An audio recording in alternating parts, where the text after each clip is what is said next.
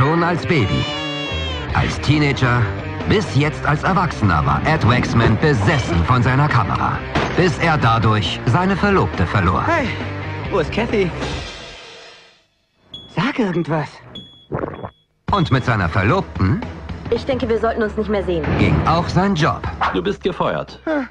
Und jetzt kommt sein Bruder Cooper Oh, dieses Wochenende wirst du flachgelegt, Kumpel. und nimmt die Sache in die Hand.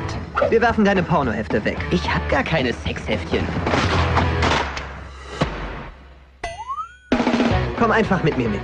Jetzt heißt es ein bisschen Party Und was machst du so? Ich bin Krankenschwester. Wow, du rettest Leben. Ich arbeite in der Abtreibungsklinik.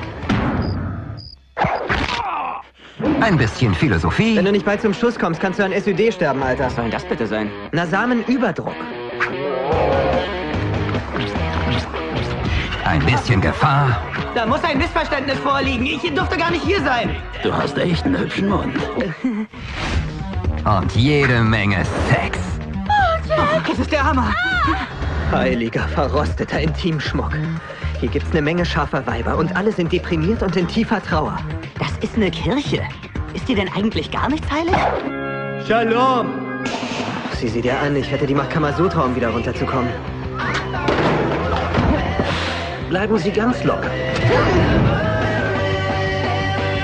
Wenn es so heftig zugeht, dann wird es ein verschärftes, verschärftes Wochenende. Chris Klein, Brandon Fair in Mein verschärftes Wochenende.